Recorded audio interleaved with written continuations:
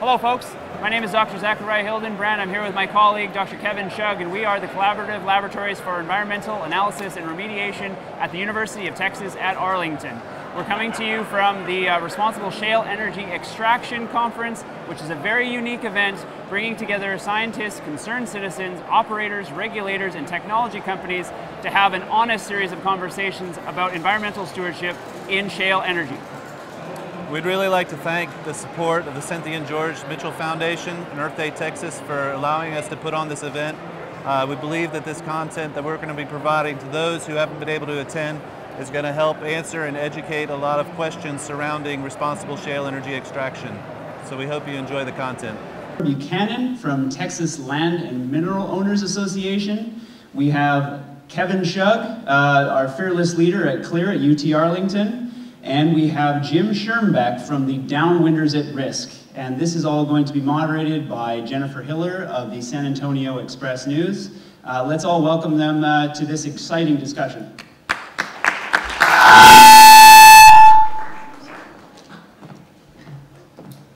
All right, thanks for joining us today. Um, I guess I'll just jump into this and hopefully we'll have some time for audience questions as well with us being several years into shale development in Texas, and we've gone through a huge boom and maybe have another boom going on in the Permian right now. Uh, from each of your perspectives, I'm just kind of wondering how you think things are going, if this is, if this is working, if we have the regulations we need in place, um, if maybe from Kevin's perspective, if there's enough science being done, and, and just kind of you think, how, how you think we are doing as a state. Okay, uh, so we we started doing research on this topic in, in 2011, and I, I would, I'll admit at that point I was quite new to the whole topic itself, and the, it was clear up until 2013 there was virtually nothing in the literature. I mean, that really, uh, I mean, I'm sorry, 2011. So around that time, there was really some of the very first pieces of literature that were coming out, and at least in terms of analysis of, of potential environmental impact.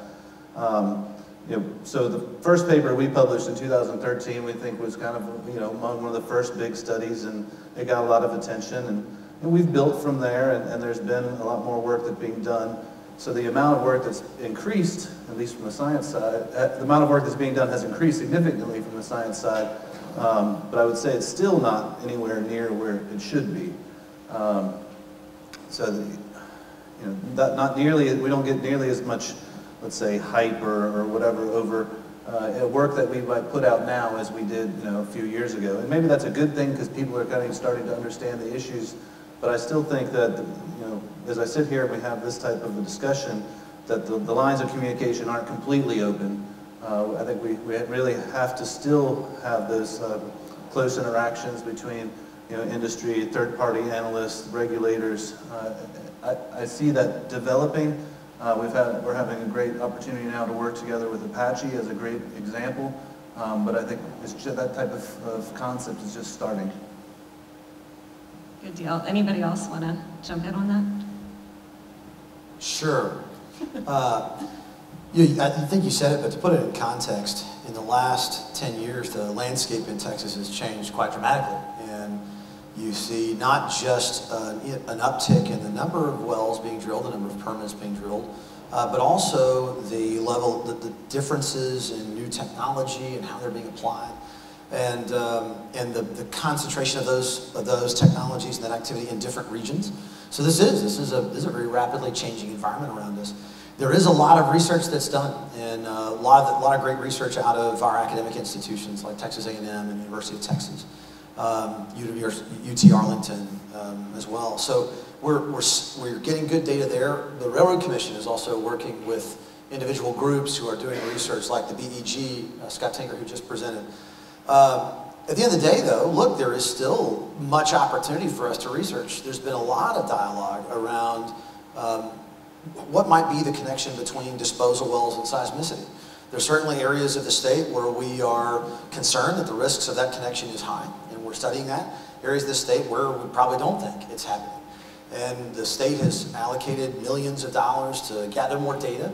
Uh, Railroad Commission, I personally participating in that. So when you see this, this land, just like any industry, when things are changing so quickly, yeah, there's room, a lot of room for us to gather new data, help us understand what's happening and what's not happening, so that people, one, so that we're making sure things are safe, but two, just so people are informed and they're, they feel comfortable that, okay, yeah, now that we know what's happening in different areas, we know the areas to focus on and know the areas we shouldn't focus on. Good deal. We know there was a, a public meeting last night in this area about a, a controversial disposal well that, that might be going in near Lake Arlington. Um, you know, when you have, you know, you show up at these public meetings and, and kind of go into the belly of the beast. It, it seems like in Texas there's not an awesome setup for, for dealing, it seems like the permit process is very technical, and then you have kind of the human aspect of people who are worried about earthquakes or traffic or all of these things that don't fit into like a, a check in the box. Um, and, and I thought that each of you may have a different perspective on kind of how we handle that, or if there needs to be, you know, any, any kind of changes made to uh, the permitting process or a hearings process or something that, you know, considers some of those issues that, that aren't necessarily technical, but sometimes they are. We had that in place before 2015, but the state took that away from home rule cities, at least, the power to do that kind of thing. So if Dallas and Fort Worth still had its way, they would be regulating those activities, and this wouldn't even be an issue. It would be a zoning problem left up to the local authorities the state and the RRC think they can do a better job of this, and so have taken that power away from all the cities, and they don't have that opportunity anymore to act. I, I do want to say, in terms of the status of things, what I've seen on the ground is we look at it from an air impact point of view, and what Mr. Tinker said was all true from the production end when you actually burn the gas, but if you're in the mining of gas, as we are, we're kind of the original Appalachia of gas, it's not clean. If you live by a compressor, there's quite a bit of NOx and PM coming off of that compressor. In fact, the state's own air quality modeling shows that oil and natural gas have a big impact. Those sources have a big impact on air monitors that are the worst performing ones in the Dallas-Fort Worth area. They contribute to smog. And yet, the oil and gas industry is exempted from the same kind of offsets that every other industry is forced to apply in a smoggy area. They are exempted from this. They're also exempted now from zoning rules. It's an oil and gas exceptionalism. Everything for the other, other industries is not okay for us. We're not abiding by those rules. We need special rules. This is what we've seen in the last two or three years as they get more desperate to kind of keep the cities and frankly groups like ours from interfering with production. They want to have more control out of Austin and less control at the local level. And I think that's what's really taking place. Is there is a rapidly changing environment it's a rapidly changing political environment. Yeah, it certainly seems like the House Bill 40 is, is running up against um, that disposal well permit. It shouldn't even be an issue because it, it, was part of a model ordinance that the industry and the RRC cited in, in 2015 as being an example that everyone should follow. The ban on injection wells was in the ordinance at that time the RC should be not, should be withdrawing, forcing this permit to be withdrawn on that basis alone. It was already in place and a part of that permit. So I made a couple of statements, and I, I appreciate the, the passion that you show for this, and you brought up the human element a minute ago. And look, everything starts with a human element. And if we don't appreciate that, not as politicians or activists or academics, if, if we don't start with, okay, how do people feel about what's happening in their neighborhood, in their communities, in their state, in their environment, um, then we're, we're missing the point. But that's what's great about these monitors. They don't have emotions. They just record numbers, and the numbers say that the activities of the oil and gas industry are actually contributing to smog. Are you done? Yeah. Okay. Um, what I was going to say is you have to start off with that, and, and anybody who is is frustrated or disappointed or concerned, uh, we need to respond to that. And that is absolutely an area that the Railroad Commission uh, needs to improve on, and we're working to improve on that. And that's why you, you, mentioned the town hall I did last night. You said belly of the beast. Uh, I knew exactly what I was walking into. There were, I don't know, a hundred, couple hundred people there that were very concerned. And at the end of the day, my, my statutory responsibilities are to make sure that this thing is safe. And I was very public about the fact if I'm not, if I don't know that it's safe, I'm going to vote against it. My job is to make sure that it's safe. uh, or at least do everything I can to make sure that it's safe. And that's not going to make everybody feel good, but it's a step in that direction. And being there and having those conversations with a group and individually with people about what are our what are the practices that we require. And we look at surface casing, then long string casing, and then conductor casing, and intermediate casing, all the layers of concrete that go around that, and help people understand things that they haven't seen before.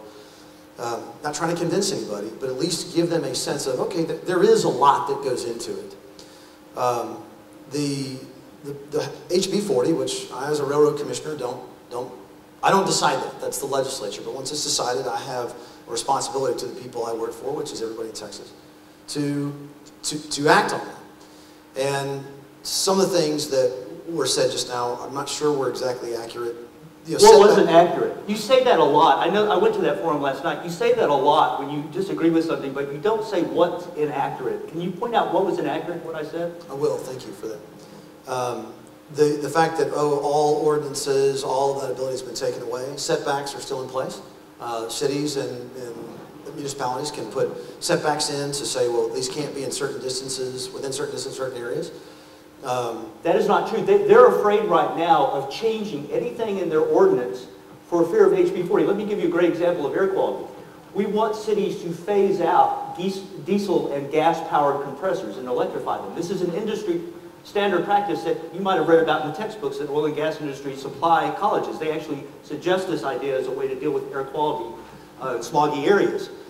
And so we want this to happen at the local uh, uh, level, at the ordinance level. But the cities now are so afraid of implementing anything new because of HB 40. They're, they interpret the law as saying they cannot even implement technology that was in place in 2015 that was commonplace, like electrification of compressors.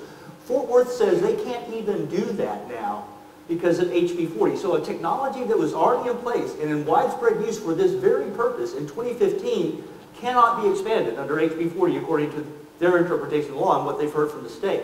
So it freezes everything in place. There are new, no new setbacks.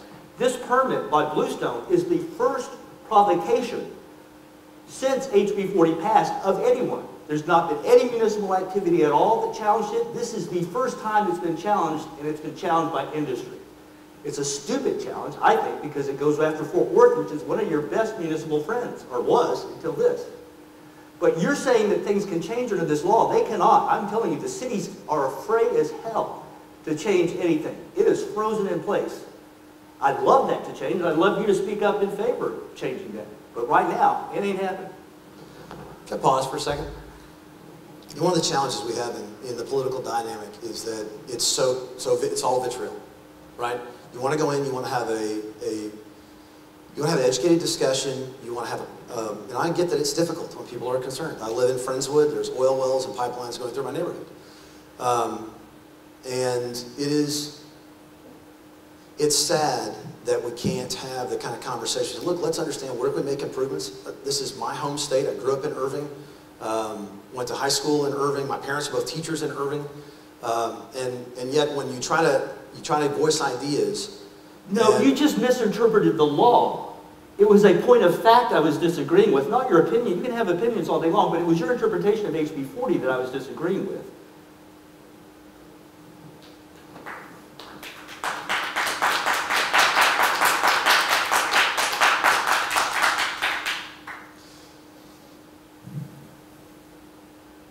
I'd like to have an, a, a civil, I'd like to have civil discussion. That's why I'm here. That's why I'm in this job.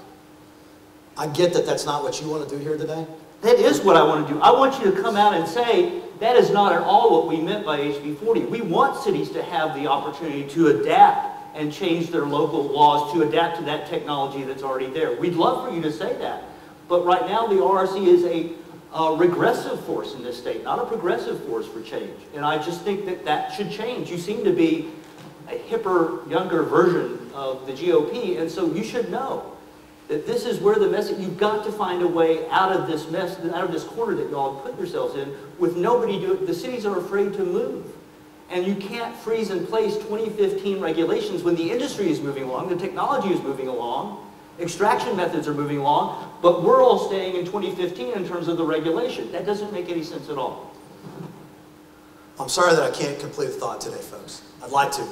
Um, and if we don't get a chance of that today because of the, di- the dynamic up here, I will stick around and have conversations with anybody that would like to.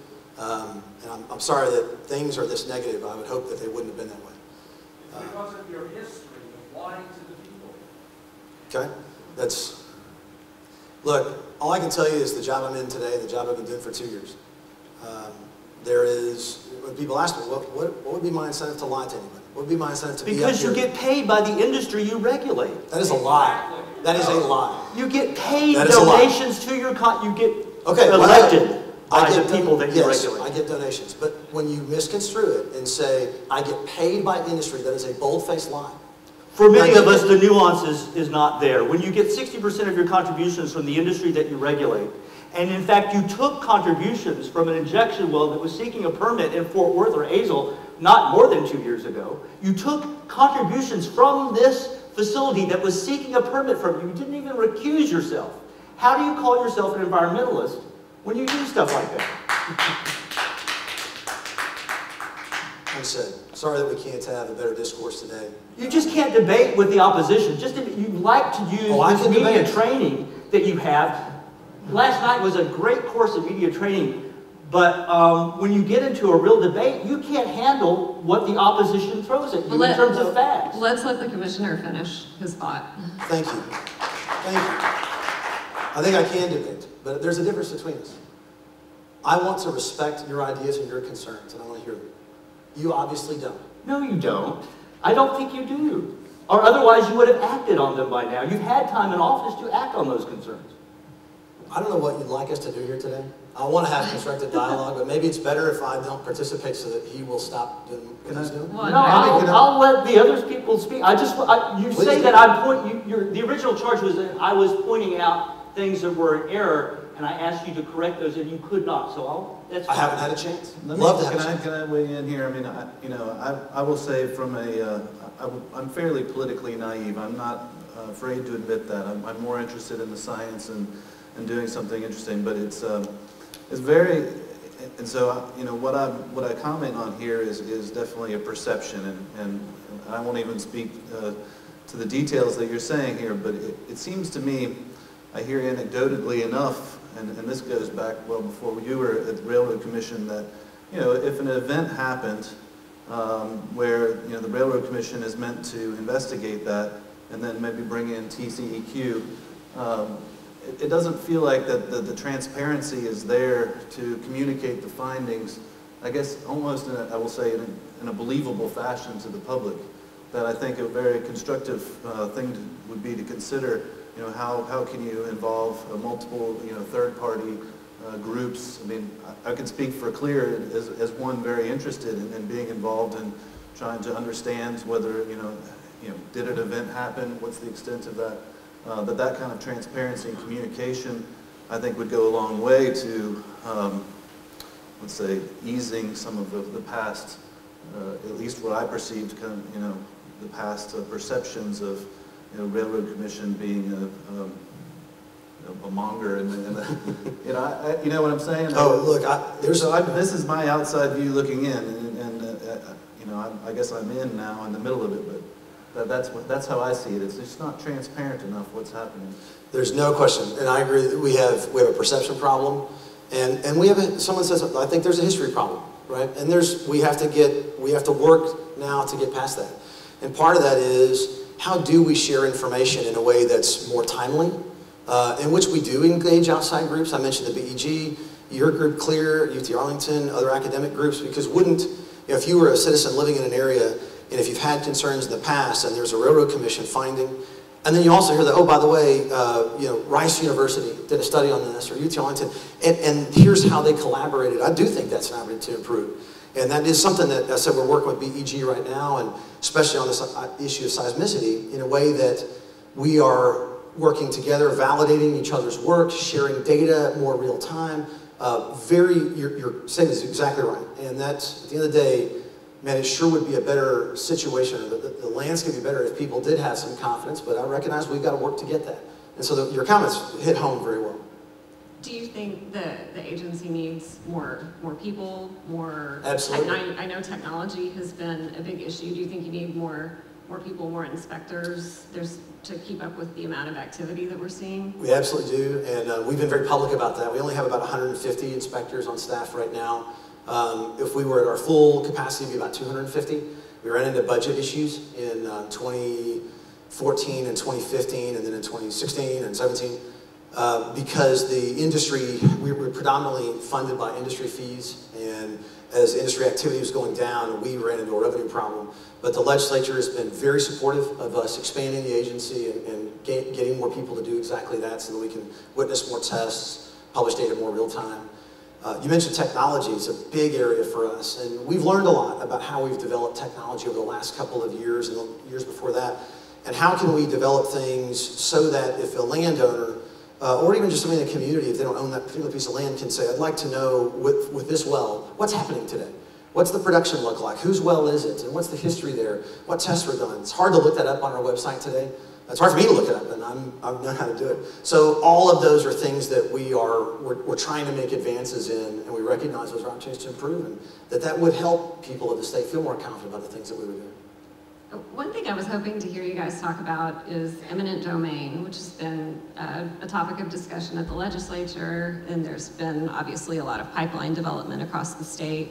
And it, you know, it's not just an oil and gas issue, but I thought that Laura would have a good perspective to share about, uh, you know, what are landowners and ranchers talking about in terms of eminent domain and, and what concerns do they have about how the process works right now? Um, so we do have a very concerted effort this session uh, for some meaningful eminent domain reform. Um, at this point, the process just seems pretty unbalanced and landowners find that they feel that they're not really getting a fair shake in how it works. Um, they end up having to, if they don't accept an offer, then they're stuck with a lot of expense with, you know, being sued for a condemnation hearing and all of that. Um, we're trying to make some changes that'll balance it out, not to put an end to eminent domain. We understand this is going to happen, it's necessary, we need infrastructure However, there has to be a way to make that whole process more fair for landowners who are really impacted by this in, in sometimes a very severe way. Definitely. Um, I don't know if, if anybody else wants to talk eminent domain. I find it to be a fascinating issue. Um, because it is a position where you, you have such a difference in opinion usually between the industry and, and the landowner that they're dealing with.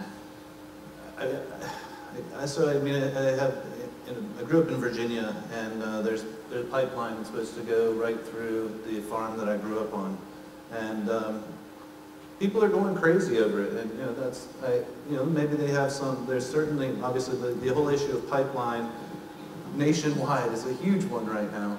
But I, I honestly think when I talk to my sister who still lives there, and um, there's a there's a lot of uh, um, let's say fear that may not uh, that may be totally justified, but it, it's uninformed. That I, I, don't think there's a clear communication to the public in general, not made, not just about pipelines, but in general about what are the risks? I mean, we heard some great things this morning about those risks, but I don't think that message is being clearly uh, conveyed. In the, in the, I don't know what all the right fashions are, but it, it, it's not being clearly conveyed to people so that they can be informed and not jump to conclusions. So, I, you know, that kind of just jumps to my mind when thinking of these situations. And Because I imagine these landowners, that they're going to jump to conclusions. They're immediately imagine the worst case scenario. Well, if I may, I'm, look, I don't have the power of eminent domain. So the Railroad Commission, we don't, we don't control that. Um, so this is more anecdotal from my experience. Uh, nobody likes eminent domain. I mean, at, at, the end of the day, as a, as, a, as a group of people, right, we recognize when you're going to build new roads or power lines or water mains, um, there, there's going to come a point where there's static, and unfortunately, eminent domain is, is a part of that process, I guess. And once again, I don't have any authority over that, but um, I think we recognize that. But you know, I, once again, I live in a neighborhood where a pipeline goes right through there, and there, there are good stories too. Uh, my neighbor just last week was like, man, They came in and built a pipeline across the back of our property. I got a check for X number of dollars out of nowhere, right? Like, and because the operator was trying to avoid eminent domain, they're trying to buy all these things. And so there's, there's plus sides to those things being built. But at the end of the day, you know, when, when even one landowner, the, the people that you're talking about, feel like they there weren't options and they were um, you know, that they were getting the raw end of the deal. I mean, that's once again, no one likes that, and you know that the oil and gas companies feel very fr- don't don't like to get in that situation either. Give the, yeah, the questions, give them to Jennifer. Sorry. No, that was it. I was just going to say, I think that, you know, there's just, as you said, there's perceptions, there's concerns, but, and there's good sides, but there's also challenges, and that, that's why your group is working on what it is. TLMA, right? All right, and we've got some audience questions. Um, They are all for you, Commissioner. Shocking. It says, uh, this one is, um, how can you say the legislature is supportive of the Railroad Commission and TCEQ when they're about to cut TCEQ funds by about 21%? So first of all, I didn't say they were supportive of TCEQ. Not that I don't think they are, I just don't know. I haven't followed that process. I'm sorry if there's details I can get to answer somebody's questions, I'll work on that. Just didn't, didn't research that today. Okay. Uh, And also, I guess, what, what role do you see for landowners in the complaint and resolution process? Currently for landowners, there doesn't seem to be a role. That is something that I tend to hear from landowners too, that they, they may call if they see a problem or, or smell something weird, and then it's like that sort of, they're not sure what happens to it next. It kind of gets, goes into the void, and then they don't know how to, um, you know, follow up and, you know, if anybody's following through. So, you know, I guess what role, and and this probably applies to Laura as well, as to where you think people should, should be included in that process. Should I go first? Um, I, I'm sure. I've done a lot of talking, so. Uh, That is a, a frustration that we hear from a lot of members is um, sort of a lack of transparency and a lack of ability for landowners and complainants to really meaningfully participate in the process. So they file a complaint and then you'd have to file um, an open records request to get information on whatever happened to it. So that's an area we would like to see a little improvement. There's one example that's relevant here in terms of transparency. For the Bluestone injection permit in Fort Worth, for instance, there was no requirement that adjacent landowners had to be um, notified at all. You just had to run a, a public notice in some paper that was in the county somewhere. You probably run into this. They run it in maybe an obscure paper nobody ever reads. It comes out once a week instead of the daily or something like that. Dallas Morning News. But there's no requirement that you notify adjacent landowners on something as huge as that. It seems like that's a basic transparency or public right to know requirement that would be built in, but it's not. So there is, and um, lots of different parties are required to be notified in our process. So part of, one of those is any surface landowner who's directly connected to the well, uh, anybody who has minerals that could be affected by the well, um, water, groundwater conservation groups, um, But not, it's not like a drill permit where people within 600 feet or a certain radius are notified in the neighborhood. It's not the same notification. actually it's quite similar. Um, Quite similar, but not the same. It leaves out a lot. So yeah, there's a, there's a requirement to notify a bunch of different people. They have to demonstrate that they've done that notification. They have to put that notification in a, um, in a, in a publication. And it can't be an obscure public, publication. I understand that in the Bluestone case, they went to the Dallas Morning News, so, which is the biggest publication in the state of Texas. Um, so there's, there's a number of, of things they have to do to, to, to say, hey, we've made this, we've, we've made this thing public. And then there's a opportunity for anybody to protest. Now, there, when you mentioned a minute ago, was there's a couple of different ways that people get involved. One is when a new process is being permitted, someone requests a permit, an operator or a producer or whatever, and then when they request that permit, that's when notification goes out to all different groups, goes in the public record, and then people have an opportunity to protest. If there is a protestant, then the Railroad Commission, we talked about this last night as a matter of fact, the Railroad Commission says, okay, operator, would you like to proceed, even though there's a protest? If he says yes, he's got 30 days to request a hearing at which anybody who has standing and is a protestant can come in and make their case. The cool thing, actually, I'll tell you about the Railroad Commission is unlike a court of law, the cost of presenting your case, while not as cheap as we'd like them to be, is much more affordable. So people can come in and express their concern, ask about safety issues, and in the Railroad Commission's case, unlike a, unlike a judge in a, in a legal case where they have to, the judge in a, in, a, civil case, for example, has to simply decide from the cases that are presented. Our examiners, their charge is to make sure it's safe as well. So we've heard feedback from people who come into a hearing and say, you know, we were concerned, but we, we weren't sure what questions to ask, but then your examiner asked questions to, to make sure, to, of the person requesting the permit to make sure that they were getting answers to their questions. So there's some good things about our process that are different than the administrative, or sorry, than the civil court process. But long way of saying, that, that's how they engage in that process, to, to say, hey, these are our concerns where we think it may not be safe. And we talked about some of the areas specifically that we look at last night, and this is all our, in our rules, the areas that the Railroad Commission evaluates. Then once something is goes into operation, then someone can complain or say, hey, I've got a concern, I saw this spill, I saw whatever. We respond to 100% of those. So if someone says, hey, I think there's a spill or I think there's something that's leaking, 100% of the time, our inspectors go out and examine what's happening. In, In a timely manner, not a week or two later?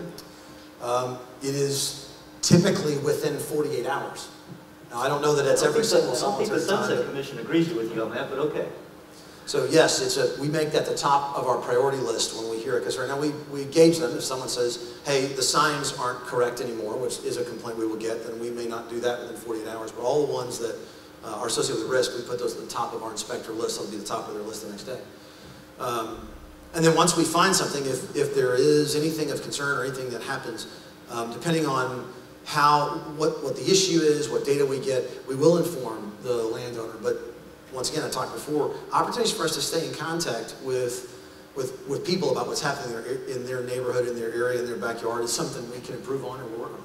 So we have a, another audience question uh, dealing with some money that is, uh, it sounds like in this House and Senate budget right now, to set aside about $3 million for IT upgrades with the understanding that it would be spent on improving data access and helping people kind of follow these complaints through, whether it's, you know, their own land or their neighbors or, or just a think it's. SB five. They're curious, yeah. So if, if that money comes to the, if that money, you know, makes it through the session and, and gets earmarked, would, I guess the question is, would, is that how it would be spent? Could, can you commit to making, you know, I guess a statement that it would go towards maybe improving that clarity uh, for people who are trying to keep up with some of the different issues? So yes, if that money is approved, it will be spent on IT upgrades in database format. Now, a couple things about this. Part of it is to make the data more searchable. So it's not, it's not that it necessarily is clearer, just that it's easier to find, easier to search. We've got some pretty archaic databases. um, Yeah, and you got a lot of been- information hidden in there. So are y'all officially in favor of that Senate bill then, that, that is targeting money for that Yes. purpose? Yeah.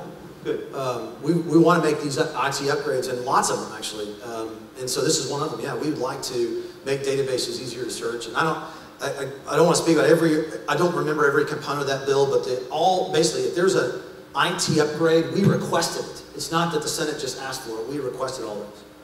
Sorry, that was my question. I don't think it was asked in the way that I wanted it to be asked. Um, What I was asking is essentially, can you make a public commitment today that that $3 million extraordinary budget item request, that would be dedicated to an open and public information database where people can track complaints and see where those are going, much like the TCEQ is already doing and many other oil and gas regulatory agencies are doing in other states? Can you make that commitment today? Well, I th- think the answer is yes, but let me say it very specifically. I'll absolutely make the commitment. If that money is allocated to us, we're going to do exactly what's in that Senate bill. So I'm not sure if that was any different than what you just asked, but It's not exactly a Senate bill, we're talking about an extraordinary item request in the Senate budget, the Senate, there's a line item in the appropriations bill. Yes. If, whatever, whatever funding, we, and look, we don't have a choice. We can't, every dollar that gets allocated to us is put into very specific buckets. And very little of it is fund, can we move around? So everything, I mean, I can make a public, public commitment because it's state law. We'll spend the dollars however the Senate tells us that we can spend those dollars. And in this case, this particular line item about improving our, um, our enforcement tracking and our database tracking, absolutely, that's why we requested it. I have another, there's another question that comes from the audience about tracking radioactive waste and, and if, there's inability to provide some more information that would be helpful to industry or to people to know where it's moving around. I'm sorry, I can't, I, I'm not reading it probably right.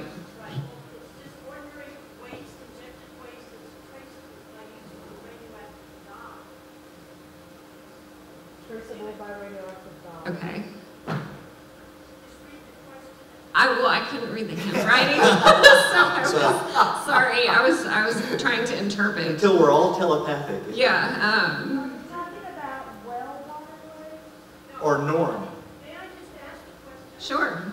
So, it's impossible to trace injectable liquid waste underground with using a radioactive dye. That's not done.